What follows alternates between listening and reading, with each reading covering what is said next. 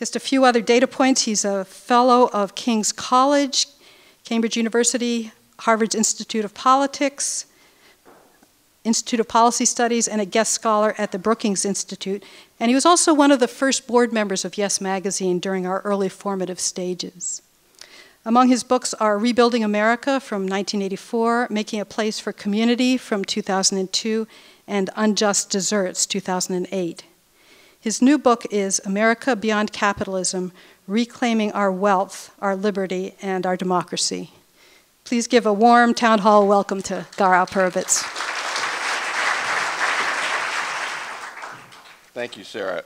For a moment, I thought you weren't going to mention my original board membership of Yes. I was very proud of that one. Um, I have uh, very strange feelings about following these guys talking on the, on the screen. uh, and let me just talk about that so we can put this in perspective. Um, I worked, as, she, as, Sarah mentioned, I was a legislative director in the U.S. Senate for Gaylord Nelson, the founder of Earth Day. I was, and I was also a legislative director and directed staffs in the House and I have a very checkered career. You know, this is bad. I worked at the highest level of the State Department doing policy planning for the United, the United Nations policy. That was in the past. So I come out of straight politics, although it's, I'm a Wisconsin kid, so I come out of Wisconsin politics, which is a pretty progressive form of liberalism. And I left that world some time ago. And I honor it. I, I'd rather have Obama in office, and I'd rather have a good liberal program going. Uh, I prefer that. I think it would be important for us. But what I've listened to these guys, um, in particular Romney, who, you know, give me a break. The, it's like a little kid in school, bang, bang, bang, bang, bang.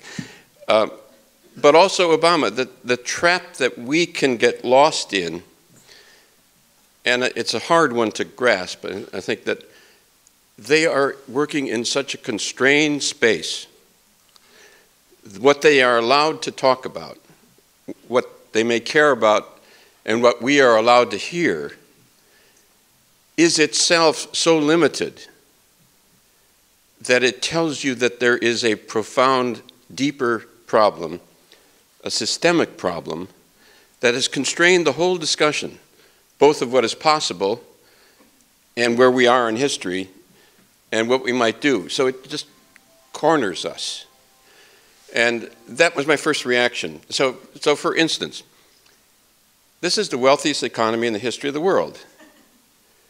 It currently produces, currently, with massive unemployment and massive recession, $192,000 for every family of four. There is no economic problem. Let me say that again. We do not have an economic problem. We have a political problem managing the wealthiest system in the history of the world that, those numbers will go up and up, and if we can handle the resource questions, the technology will continue to generate about a sevenfold interest increase over the century as it did in the last century. So the most bountiful possibility, even in a time of resource scarcity, is lost. We can't even think about it. And it becomes utopian just to say what economists know the numbers are. So put it another way, what can't be said and the first part of this talk briefly to say why, I, why we are in a very unusual systemic crisis and why if we understand that it might allow us to move in a different direction. The first part I want to get that briefly on the stage and then talk about what I think is really interesting, the positive things that are exploding per force of necessity out of the pain of the crisis, building forward in a way that I think is really interesting. But in terms of the crisis itself, how do you tell a systemic crisis? It's not only about the way the chatter is in the political sphere. If you see wages going steadily down and the top income for 30 years, 30 long trends tell you there's deeper mechanisms at work. So for instance, over 30 years, the top 1% has increased its share by 10%, meaning the bottom 99% has lost that, but it's a steady trend over time. Something's driving it. Power relationships are driving it. The top, the number that I find most unusual and gives you a sense of what is systemic about it is the top 400 people, individuals, 400 people, could get them in this space if you squeeze just a little bit, have more wealth now than the bottom 180 million Americans taken together. That's a medieval number. Uh, I don't mean that rhetorically. I mean medieval society was structured with the ownership of wealth, in that case land, at that level of concentration and giving it power relationships of that kind. If you look at a different question, people have looked at civil liberties. If you want to know what liberty is about, you actually look to see who gets deprived of their liberty. And if you look at the long trends which tell you about underlying mechanisms, the United States started about 50, 30 years ago, 50 people per 100,000 in jail. It's now up to 743 over time going up. A lot of black and brown people there. We have eight times as many people in prison or jail per capita than any other advanced country, including Russia. The loss of liberty is a trend. And we see it in terms of the legal and civil liberties, right? You can go into the legal matters of it, but just look at the bottom indicators. Climate change. Over the last 30 years, the increases in the various forms of gas that are incre increase, increasing global warming have gone up steadily. In the last two years alone, 3%.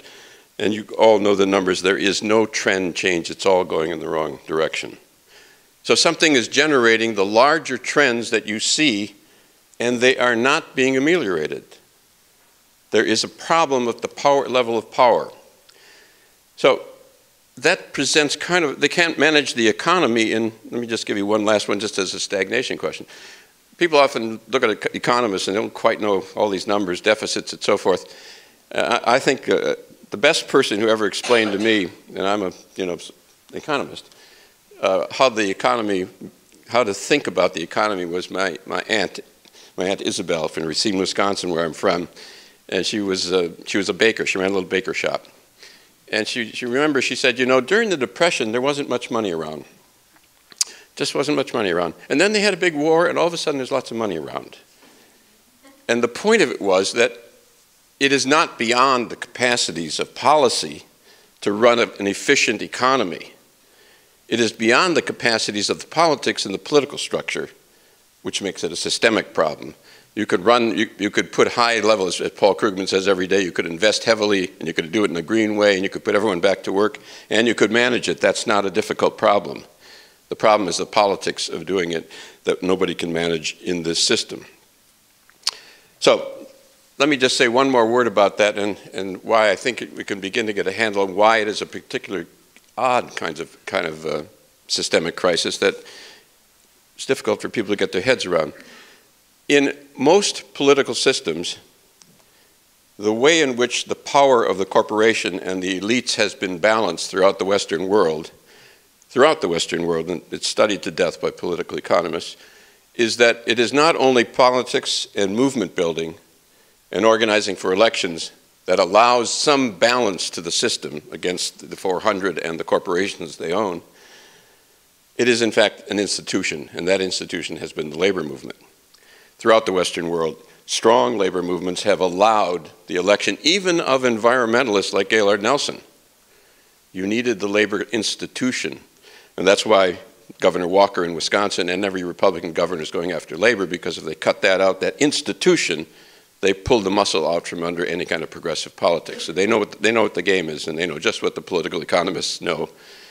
And what's happened and why the oddity of the systemic crisis needs to be looked at in a new way, I think, is that in fact labor has gone down from 35.4% of the labor force in unions in 1953 at the peak.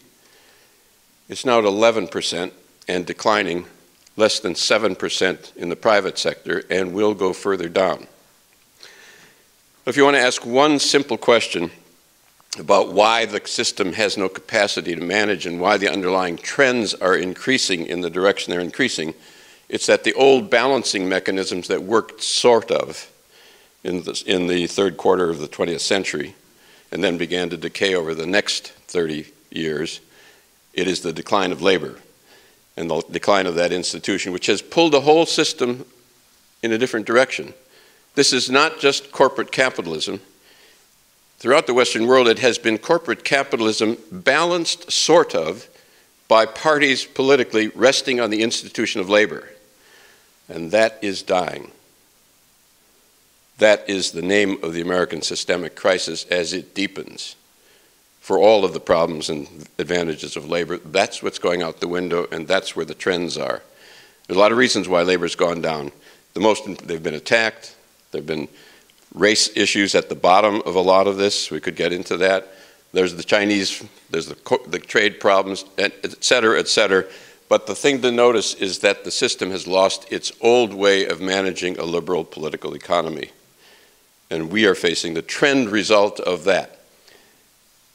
A systemic crisis is one that doesn't get solved by politics as usual. To put it another way, is there any institutional way to alter the trends other than build a movement? You need a movement, absolutely. But we also know historically that unless we build new institutions with power over time, they win. And it could get very ugly. Now, what makes it a very odd and strange crisis, and then we'll go on to what's interesting about what's happening. But the context is critical, and I think as a historian, so I have to burden you with this. It is my Marxist friends see all of this and they say there will be a crisis and a collapse and maybe a revolution. Now, I, I honor some of the really good Marxist thought. But what's interesting about this particular crisis is in 1929, the economy was supported by a government that was 11% of the GDP, not very big. And the crisis was the collapse. There was no floor. The floor now is 34%. We may get decay and stalemate and stagnation, but we're not likely to get that collapse that's going to cause a big explosion, in my opinion. There's also the problem that a big explosion might go to the right rather than the left. But the most important point is we may get the stagnation that you're seeing and stalemates politically and ongoing decay, but that's a very different context. It's a very unusual context, so a minute just to think about it, and I burden people with this. It isn't a period of reform where the trends are moved forward in the old way. But it's not a period where there's a crisis collapse, like the Depression or a Marxist theory. It's very unusual. It's decaying and stalemated and stagnating, and what we experience day to day unemployment, underemployment, poverty, global warming, environmental issues all over the place. Odd, painful, but strange crisis. And I want to stress to you that it's important, I think, to grasp the nature of how odd it is, because it has certain properties.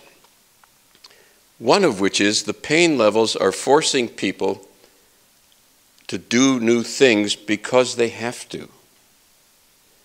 In a crisis, that isn't what happens. You get explosions. But what we're seeing, and this is the part that's very interesting to me, what we're seeing is an explosion of activity, both political some social, but above all economic in a way that I think could matter. Now, let me say a bit about that. All systems, all systems run on the basis, one way or another, of property. And in this one, the property concentrations are, as I've said, extreme and getting worse. The medieval ones, as I said, land was at the core of it. 19th century capitalism, small business ownership of capital was the dominant form of a very strange kind of competitive capitalism. Corporate capitalism has, comes in different flavors. Corporate domination at the end of the 19th century was pretty much just corporate power. The balancing game that the mid, mid-century in all the advanced countries and now decaying, social democracy or liberalism it was called, that was another form of corporate capitalism. Still another one was fascism, corporate capitalism with repression. But the decay we're seeing, but the, at the core of these systems, all is the question of property who owns the wealth. And simply as one element of the way to think about what might be the possibilities of the next system, and what might be the possibilities of building institutional power and displacing, pushing back over time the dominant power of the system, it would have to revolve, I think, and we could have a long discussion, around some way to democratize the ownership of wealth. If it's 1% or 400 people owning as much as the bottom 180 million, or 1% now owning more investment capital, this one's another. 1% owns now more investment capital than the bottom 95% of the society. Either there is a way to democratize the ownership of wealth, or it stays as is. And either there's a way to do it in a democratic, decentralized way, or you end up with statism of the, so of the Soviet Union style. The conservatives are right about that. The state owning the capital under state socialism, as it was practiced, did concentrate power. So there's our problem. Stagnation, stalemate, decay. If you want another system, let me press you on this. Let me press you on this. We haven't done this, you and I. What is it that you want? You don't like this system? What do you want? It's no good to say change the system and then say, well, I, we need to think it through. And one element, and I'm, it's a real challenge to all of us, one element of it, in my view, is how do we begin decentralizing the ownership of wealth, both as a principle and democratizing it, but also as a way to begin step by step to building new power bases and new cultural bases in the system. What I just said in the 60s would, would have been called a, a heavy rap. so, so let me repeat it. So, because I take it very seriously. I'll bet my life on it, as a matter of fact, and I'm going to ask you to. If there is a way forward, and if we, now, this is kind of simple logic. If we live in a systemic crisis, which means that you need to develop an alternative systemic response, then either we have a view of what that looks like more than rhetoric and an idea of a path, or we aren't talking about anything real. So, what does it look like? And how do we begin to think about it? I don't think anybody's got the real answer to this. I don't expect that. But I think directions are beginning to emerge largely because of the odd structure of the crisis and its pain levels that is forcing people to innovate. So one of the things we do in, in, the Democracy Collaborative is we cover it, we cover this field pretty closely. The press doesn't cover it because it doesn't have the money to, and time or interest to cover what's going on at the grassroots level in terms of democratizing ownership but we try to grasp it. So here's a, here's a website for you. Community dash wealth. Put the dash in. There's another one without. It's a different one. It's a good one, but it's not this subject. And what we look at is what's going on at the grassroots level and around the country that is beginning to suggest a direction for changing the ownership of wealth in a democratic form. So when you begin to look, some odd things that come up first. There are 130 million Americans now involved in co-ops and co-op credit unions. 130 million people who have some involvement in a cooperative institution, one person, one vote. Many of those are credit unions. I was in Burlington, Vermont a couple months ago, and the Occupy movement was looking at the credit union, which is many credit unions, let's be honest, they're very boring standard. They aren't doing much interest. They could, they're one person, one vote. The light bulb went on. Why don't they fund interesting worker-owned co-ops or other the really interesting projects could be funded with some of the capital that's in those credit unions? So a number of these folks became members and voted in some new board members. You could do that, by the way. so interesting thing going on. But 130 million people already involved in one-person, one-vote co-ops. There are 10 million people, 11 million actually, involved in 10,000 worker-owned companies around the country. Some good, some bad, some, some that could be better, but they're on the ground and they exist and nobody knows about it. There, there are four or 5,000 neighborhood owned corporations around the country. Some good, some bad. some very interesting indeed. We could talk about some large-scale ones. that are 100, and, the last number I saw was 1,300 people working in New Communities, Inc. in New Jersey, making money on a community-based structure and using the money to hire other people for social services, health care, et cetera, in a mini ownership, democratized ownership structure. That's another one. There are social enterprises popping up everywhere in which profits are being turned into social good.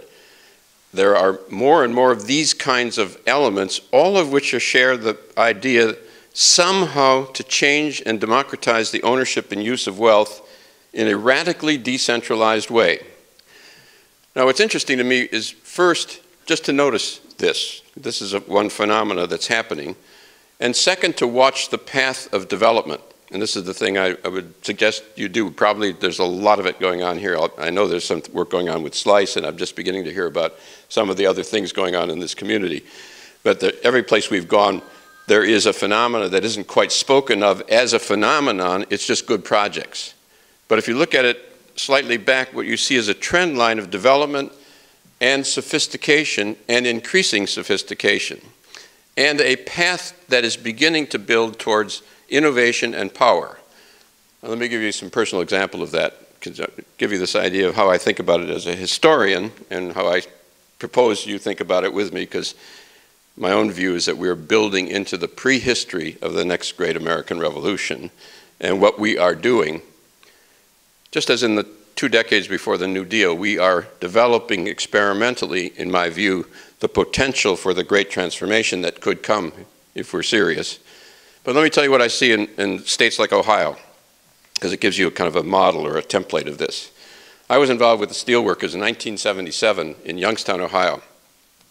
The first big steel closing in the United States, Youngstown Sheet and Tube closed, 5,000 people were thrown out on the street. That was huge news in 1977 because it hadn't been happening. Now it happens every day, but in those days it was a big deal. And the workers and and the churches and the ecumenical coalition in that town they knew the town was going to go down, and, and Youngstown has gone down since. So they said, why can't the steelworkers, why can't we run this? Why can't we have a worker-owned company, 5,000 guys? Why can't we do it? There were mostly guys. There were very few women in those days.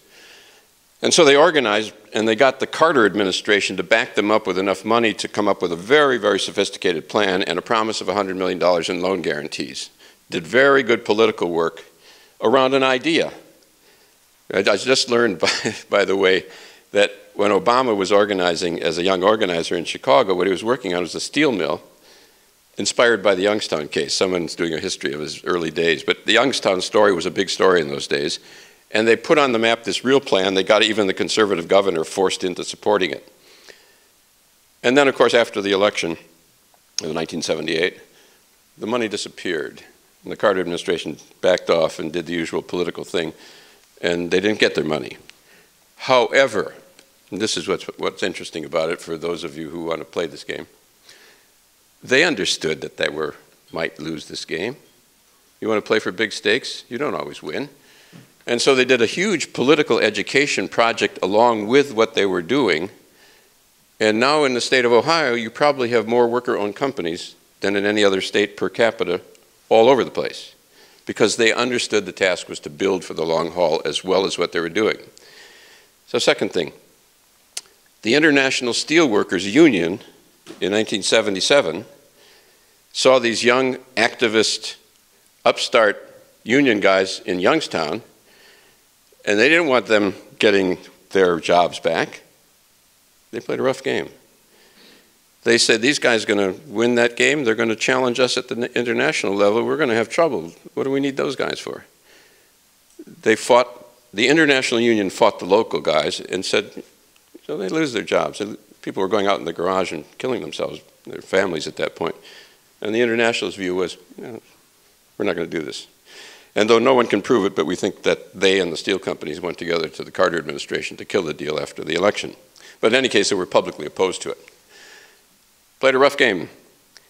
Now, 30 years later, do you think as a historian or as an activist or maybe even a revolutionary, now the steel workers have come around.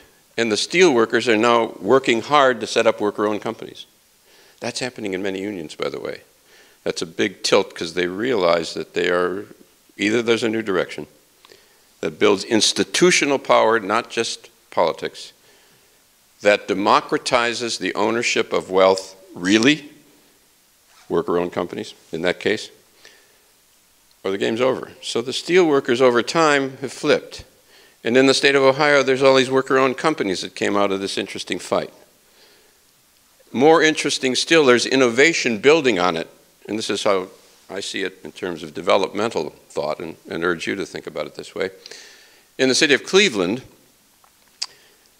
now I don't know if any of you have been, been to Cleveland or, or Detroit or St. Louis or Baltimore. They look like bombed out cities. You know, Detroit, where my wife is from, a million people gone. And they all look at Detroit and say, my God, it's terrible. They also don't ask, where did the people go? Where did they go? Nobody cares. It's, oh, Detroit's in trouble. But in any case, Cleveland lost 300,000 people, from 900,000 to almost 400,000 people. In one of the poorest neighborhoods of Cleveland, this is Ohio, what I mean by poor neighborhood, average family income is $18,000. 40% unemployment, high level of crime, extreme poverty.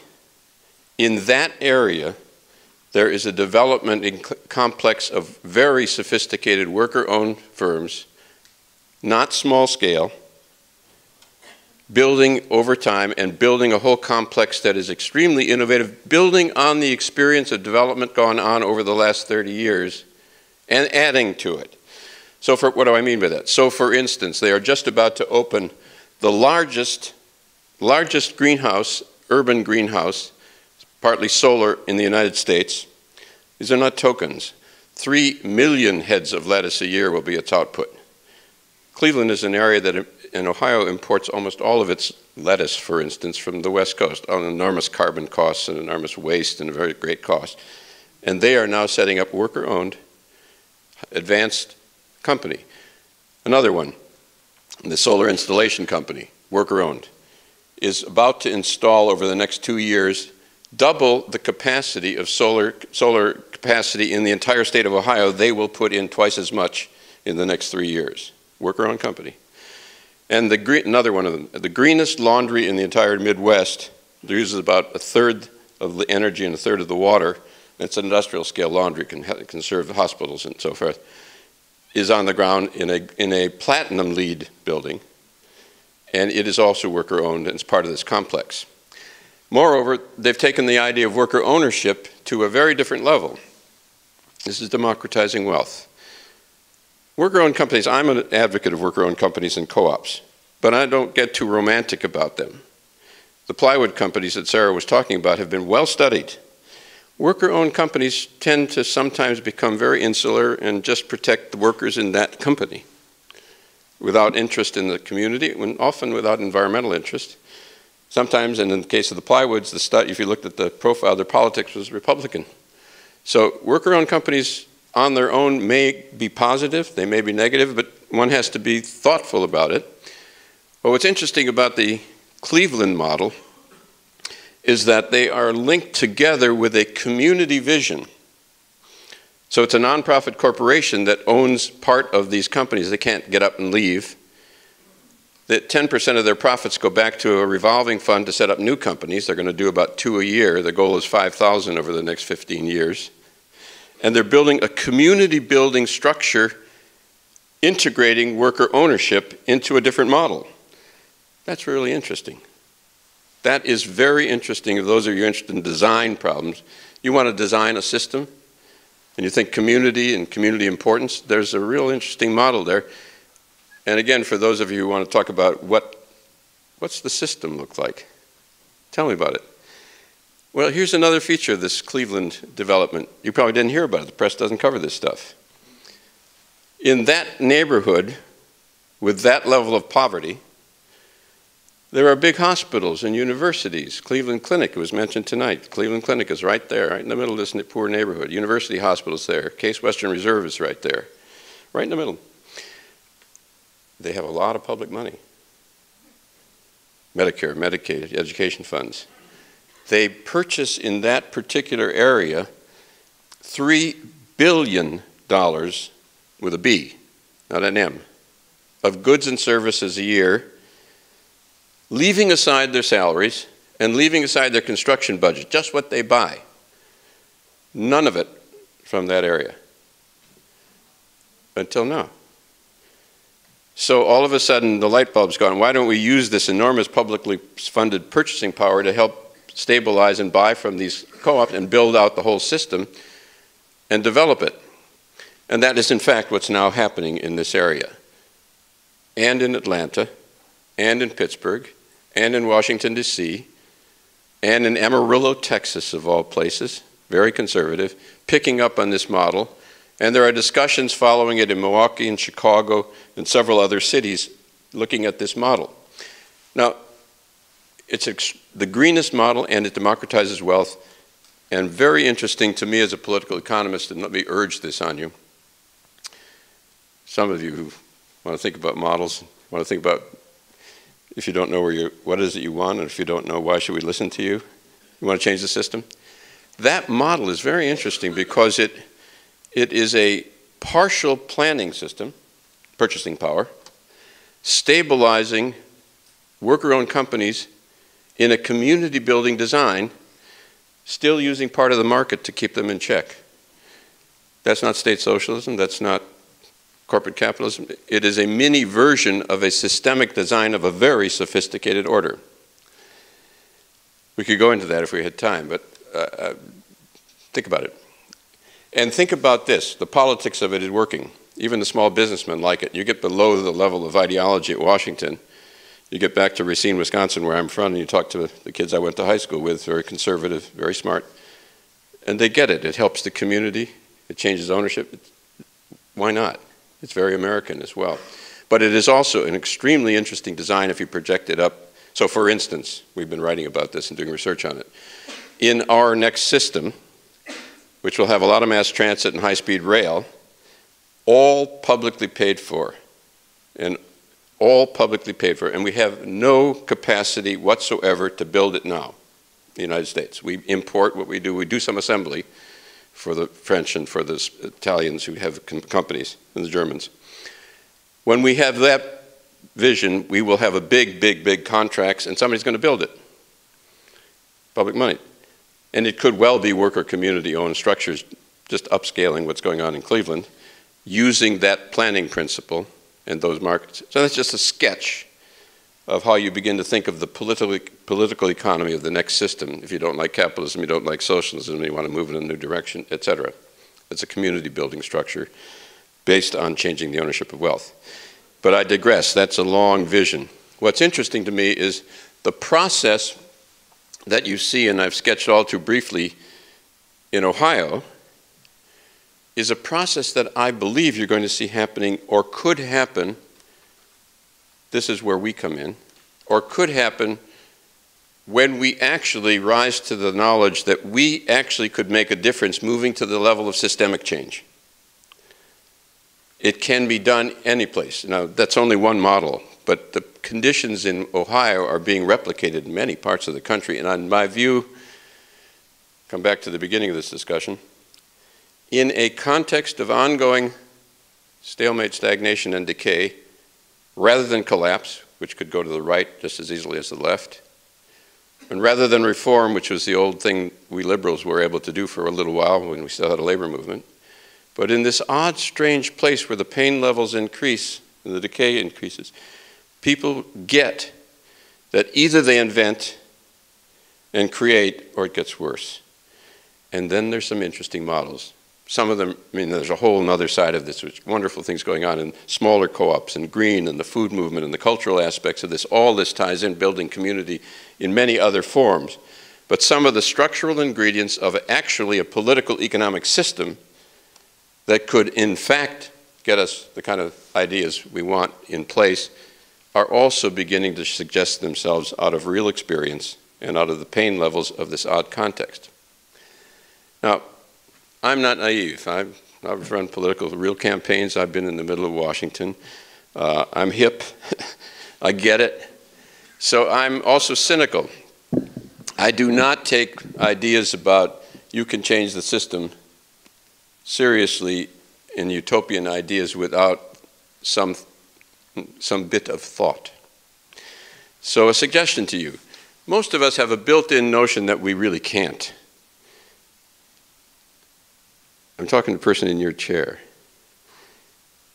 Who, us? Change the system? Now, I don't mean rhetorically.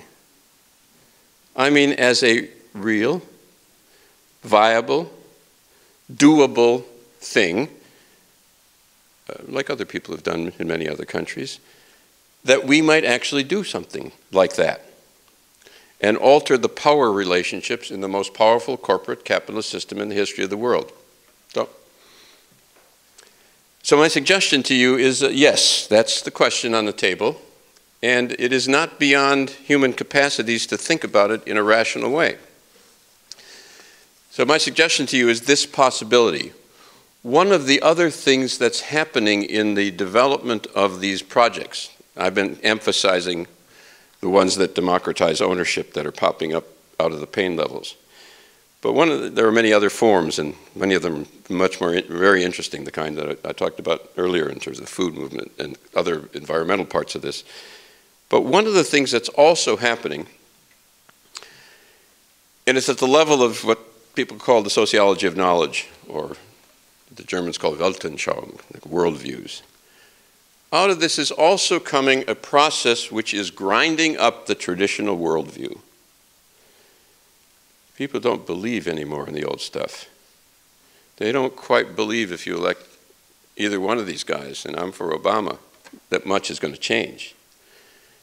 It's a very big deal when people don't believe the old stuff it's a very big deal when it doesn't, doesn't quite register anymore. That is the, to put it in different language, what I think you're seeing is a legitimation crisis in this formative years. A legitimation crisis is one in which the guiding ideals of the system, liberty, equality, democracy, ecological sustainability, when those ideals are contradicted by the reality of the trends, then the legitimacy of the existing system becomes eroded because the real world does not fulfill the ideas that give legitimacy to the system. And then people say something's wrong. I believe we're entering a period where people, even the Tea Party, liberty, there's, some, there's a lot of nonsense going on, but there's also this concern about liberty that some of it's real. A system that begins to enter that phase historically is really at a place where people can begin either to make a difference or, you know, it could go a different direction. So there is, that's the negative. But the positive is what's happening on the ground, and particularly among young people, where a whole different vision of how to live and how to build society and how to build relationships and culture and the environment and projects, that's also developing not only in what I call projectism, lots of projects, it's developing an idea system. It's developing the preliminaries of a vision of what we might want that is heavily oriented to community, to, to ecological sustainability, to a different way of treating each other, and to some ideas about democracy and democratization as well. So it isn't only the stuff on the ground that I see bubbling up and that the press doesn't cover, and it, I see advancing to more and more levels of sophistication, and then the unions coming in and picking up a net process that isn't being covered, and which would take decades to develop its power. It is the double level declining vision of ideas at the level of the sociology of knowledge or legitimation crisis, and also a recurring buildup of where are we're going to take this.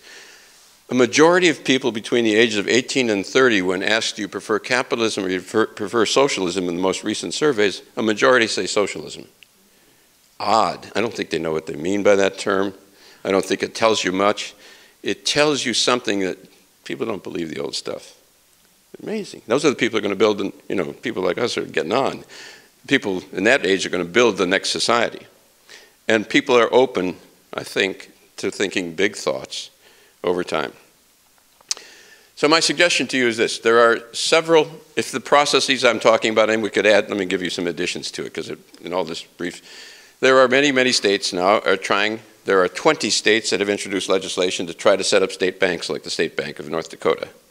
Another 20 states have set up legislation, have, are considering legislation to do single payer, like it's going to happen in Vermont, and it was twice vetoed. It passed the House and Senate in California, it was vetoed twice by Schwarzenegger. What, what's happening at that level of institutions, banks and health and healthcare, I believe is going to intensify healthcare, particularly because the cost pressures are so severe that the only way you can get at it is single payer, and it'll probably be done state by state. And some of the big corporations will be for it too, because it, it changes their cost structure in international competition. So I think if you look at a 30-year swing, which is, you want to play this game? The chips are decades of your life. Yeah, you want to do system change? you, you have to be willing to throw decades. Anyway, I think the next few decades you're going to see that whole healthcare system forced into single payer because the pressures are so great. You're talking 20% of the economy. Not small change. Hopefully we can revise it to make it 10% when you get the efficiencies out of it, but that's the number. And some of those big banks are beginning to move at that level, and as many cities are setting up city-type banks or using city deposits to support credit unions that do local development. So that's another trend going on in the financial sector.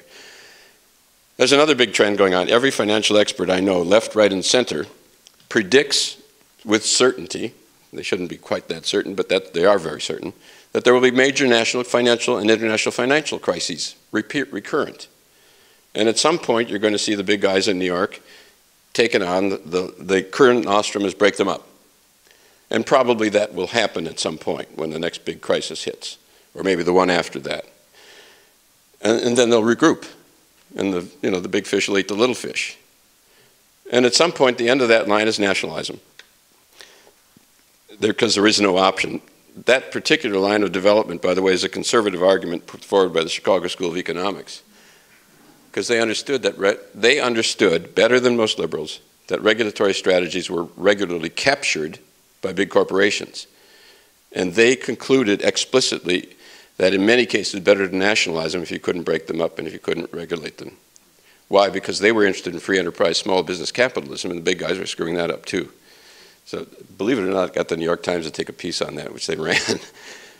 but I believe, without saying this, with, I believe that the pattern in the financial sector is going to be that pattern of being massive challenge, crisis, and at some point, some parts of that's going to be made public because there is no option. I, am not interested in, in rhetoric or kind of we ought to do things. I'm interested in whether the situational logic that is emerging permits different possibilities, and that's another, healthcare and banking are another one. So if you want to just open up the stage again, if you're looking down the 30-year perspective and some of the big stuff, did any of you notice that we happened to nationalize two of the biggest auto companies in the history of the United States in crisis? Happened. We gave them back after they start making money. But do not forget that it has happened and will probably happen again with some bigger industry. Now I'm blue skying for you. But what I'm suggesting is that if it is the case, and I think it is, that we are entering an extremely strange systemic crisis in which the old model of balancing the corporation, sort of, with a labor union based politics and a social democracy or liberalism, is decaying, but it doesn't collapse. And it's forcing people, and let me put it another way that kind of a crisis has one very positive feature it allows people to learn, to develop. A crisis, you know, my friend Chomsky's onto this one big time. A crisis often produces the kind of reaction that turns out to be just as bad as what you had, or maybe, but a period in which learning of actually how to democratize things really it's not easy. You have to learn. That's a positive feature of an odd crisis of the kind I think is emerging. Very positive because if people learn how to do things really in their guts and in their reality, it's deep. And you project those principles and that culture forward, maybe. So now, enough utopian talk. Here's the options as I see them. Look, look if the, you could have this decay just goes on. Uh, decay, decay, decay, decay. De Rome decayed. That is one option. May happen. It is possible that out of the decay and the inevitable violence it will engender, there will be a right wing smash in some form of corporate state. Friendly fascism was the term that used to be used by one sociologist. That's possible. It is possible, look at Latin America. And those of you who think, by the way, that even corporate state fascism is the end of the line, look at all those dictators that are gone. It is possible, just possible, that if people get serious, this is not about systemic, it's about us getting serious, I think. The, pro- the problem is existential as much as anything else. It is possible that if people like us actually can say, you know, really begin to get serious about this stuff, we may be able to, in practice and in ideas and in culture and in institution building, lay down the foundations, irrefutable and irreversible, possible, so that this becomes the genuine prehistory of a transformation. That's also one of the logical possibilities. So that's obviously the one to bet on, but the, not too lightly, please. I did mean that about the existential issue. My experience in myself and in my friends and in most of the people I know is that we don't quite really want to take ourselves that seriously. No, I, am just doing my project here. It's a nice project. Really good friends. What are you saying? They, besides all governments and states and all, they'll never work. If they don't work, they will control us. So, yeah, that's what I said before heavy rep. I'm, by the way, I'm speaking to the person sitting in your seat. So my suggestion to you is yes, it is possible that we are, it is that we are living in a systemic crisis. It is a very unusual one. It is also generating, genu generating a whole series of interesting possibilities that begin to suggest power relationships and cultural relationships and practices that could be generalized and that the context we're entering may very well be such that it may be possible for determined people who take themselves seriously to lay down self consciously the foundations of the next transformation. I could leave it at that, but I do want to remind you, and probably this is a good place to stop and then we can get into questions. That ain't what those guys were talking about. They're working, and I feel somewhat sorry for them they're living in, I mean, I've, I've lived in Washington, they're living in this little frame of a decaying system, boxed in by the changing power relationships, and not able to actually open up some of the things probably Barack Obama would love to think about, maybe not quite as far as I've been suggesting to you. But the frame is tiny, and the loss of real energy that explodes when people actually get the possibility that they might have, that's also evident in the kind of chitter chatter the tone of it all is lost. Because what comes along, I think, and this is the last thing I'll say about this, don't trust me if I ever say that again, because I'll usually go on.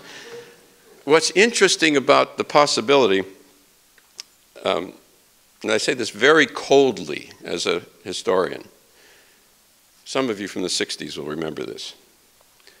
Uh, what's really interesting about the possibility when a viable possibility begins to be taken really seriously is it unleashes extraordinary energy. Movement energy that is something that is powerful when you, it's palpable when you actually see it happen or part of it.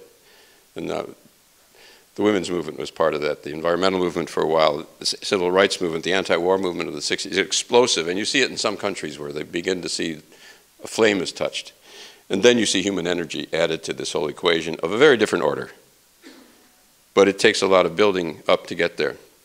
So just on the final note on that, and this is the last thing I will say about that, you know, uh, Chairman Mao used to say, um, power comes from the barrel of a gun.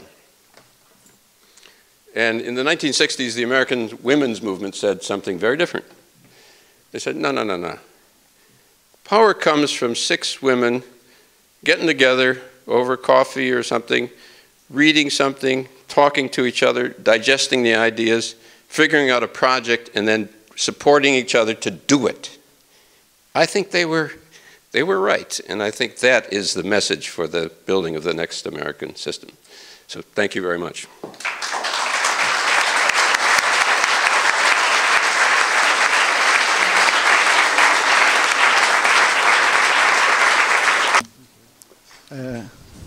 I, am glad you mentioned the uh, effort to create public banks or state banks. We are one of the states here that are trying to do that, and our biggest opposition is coming from the state treasurer uh, because he thinks it's, it's, a turf war kind of thing. Uh, I do agree with you that there are new possibilities growing up around, and it's positive. But there is something I worry about, and I would like to hear your, uh, your feedback on that which is the national debt. The national debt now is at $16 trillion and is growing by more than a trillion dollars every year. Somebody will have to pay for that somehow. Uh, how do you see that developing over the coming years?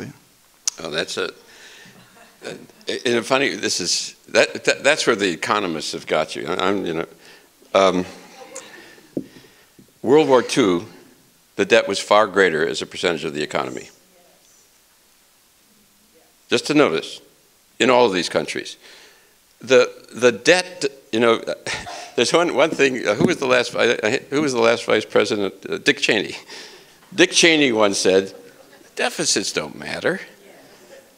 Now, I'm a left Keynesian. They don't matter. If you can run a high, you can run, this is, I mean, it gets you complicated right now, but if you can run a high growth system or even a, not grow, growth in the production, but it could be green growth so the actual output is different in terms of what you get. So, so long as you keep that financing, that's a number created by the Federal Reserve Board. Money is, money is created, as you know, by the waving of a wand in a computer. The, there's a wonderful, read the work of Ellen Brown, or the, what's called the Ellen Brown is very good on this, a, who writes about this in popular, but there's a whole school called the New, American, New Monetary Theory, and it comes out of left Keynesian thought.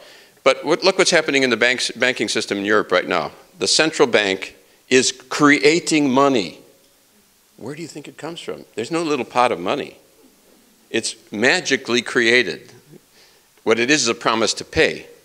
And those promises to pay can stay there as a deficit for till the cows come home if that's the way you want to run your economy. I, mean, I, I, I wish we had time to go into it, but the conservative politics of this is so wrong-headed, and they got the public so banged up on this that it, I recommend Ellen Brown as a way to starting point on this. Yeah, sir. I'm sorry I can't do better in the time available.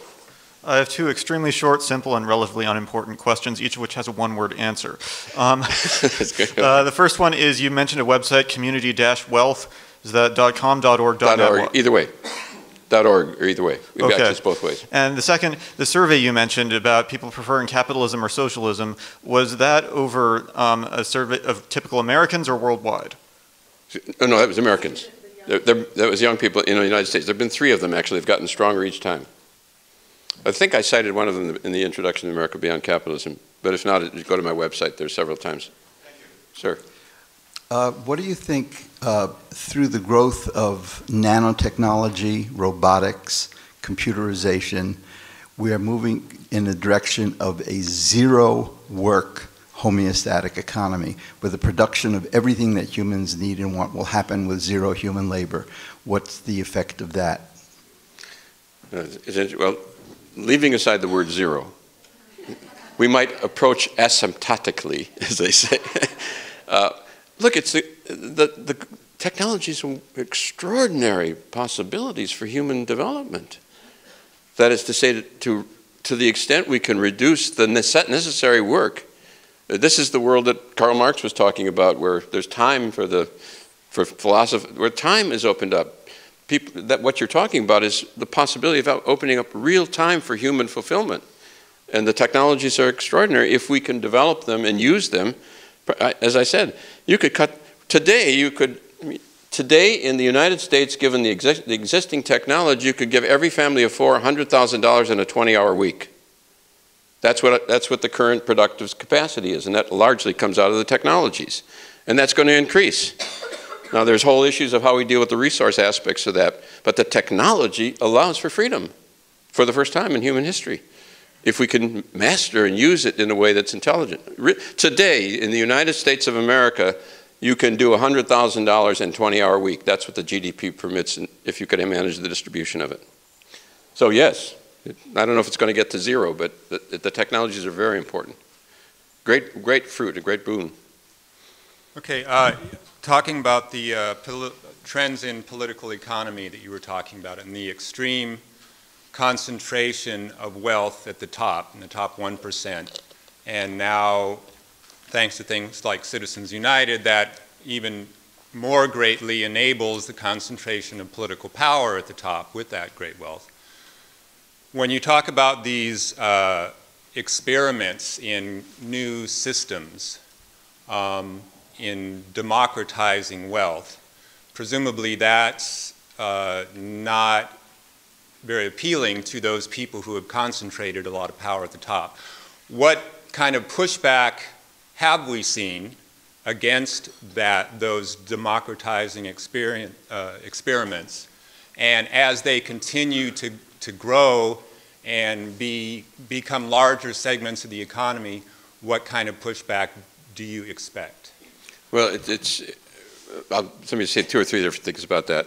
Uh, we haven't seen a great deal of pushback. I expect if, we, if there is significant power, there will be, although the person mentioned banking. Many of the banks are nervous in the state of Maryland. The, the banks don't want to see it. In many states, they're fighting back against state banking. But they may or may not win. We'll see how that goes. Some states will win. The language here, I think, is interesting. Um, and I've been writing about this. So what you're getting is what I call checkerboard possibilities. The first, the things I mentioned about worker-owned companies and so forth, there's an evolutionary reconstruction is the terminology. This is not reform, it is the construction in an evolutionary form of new institutions. In the case of the banks, for instance, it's a checkerboard for some states, some cities, but also encircling, encircling in an odd way as the pain deepens. Uh, I suspect they will fight and get tougher.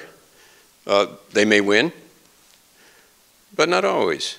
Um, what's interesting to me, if you, if you think about this, the internal empire of the United States. That's the way Madison thought about it, by the way, as an empire internal empire.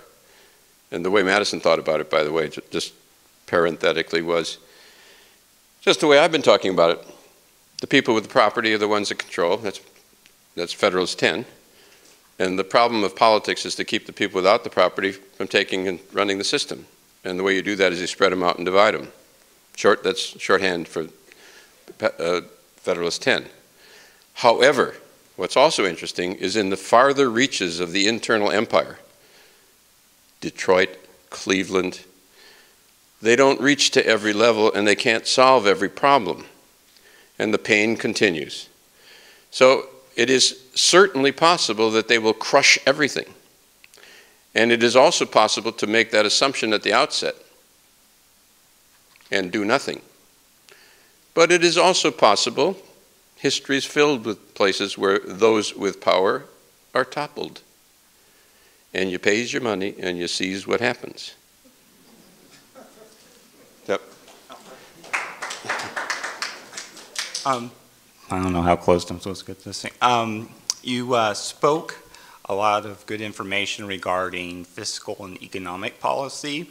Uh, one point I did hear you say, though, about a new American Revolution, and I'm and I'm paraphrasing, but when Benjamin Franklin was asked about the Constitution, what is it, he said, well, we've given you a government, beep, beep, beep, if you can keep it. And so I was just wondering about your ideas about convening a new um, constitutional convention that uh, a lot of people don't know history, but that the elites might, the parties might actually get together and say, you know what, maybe it is time to rethink um, terms of, uh, of uh, election, election, and uh, relook at apportionment because that's part of the problem. We're, we're getting representatives who are becoming more like senators than representatives because it keeps it keeps growing in terms of the number of constituents. So I'll just stop there, but I wanted to get your uh, take on on a, uh, a constitutional convention. I'm against the constitutional convention now because they got all the chips. But ultimately, uh, it's implicit in what I've said. Ultimately, the, you would be talking about restructuring the design of the system, which would re ultimately require reconst. I mean, the Constitution's an archaic document of 200 years old. It was written in the time of the mule and, and, and, and the wooden plow.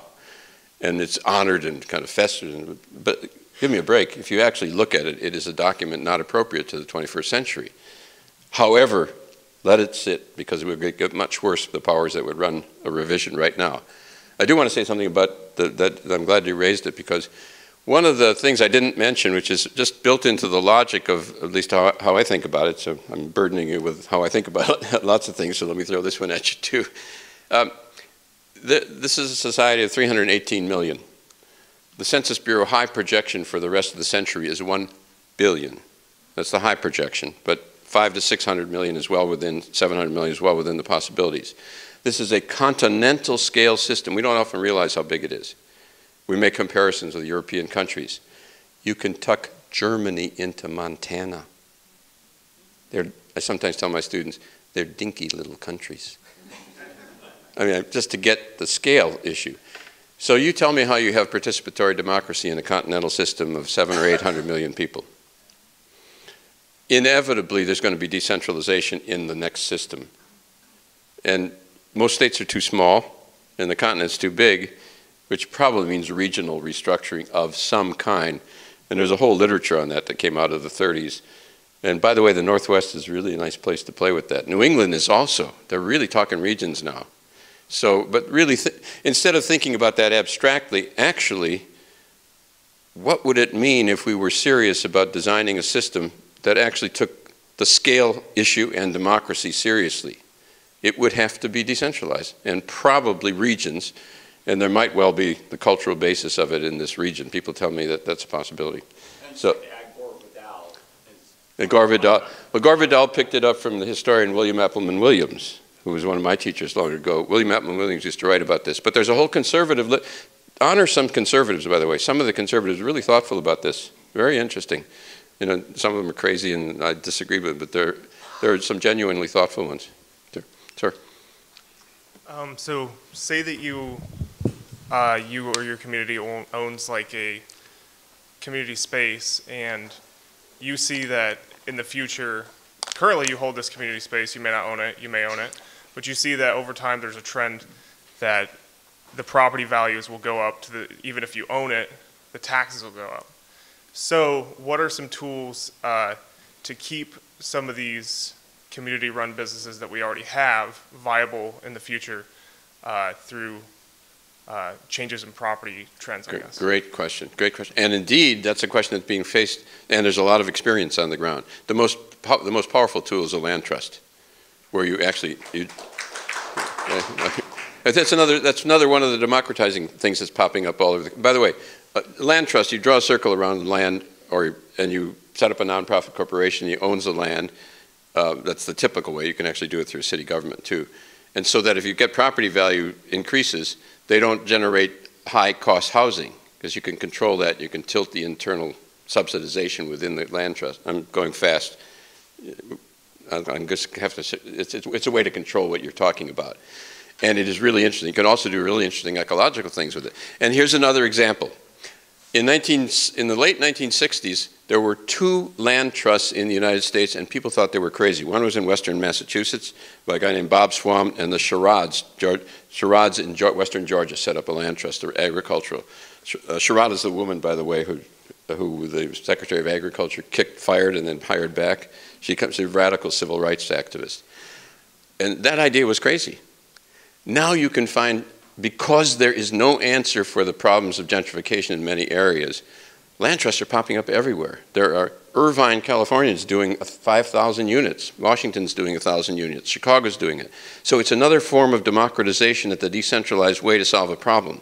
And it's another example of this evolutionary reconstruction I'm talking about that is not, is very American practical stuff. I mean, I'm putting it in a you know, frame of evolution, revolution, all this system change. You can drop that if you want. It's very American style. European guys who, they don't quite get this. This is, this is one of the advantages of this country.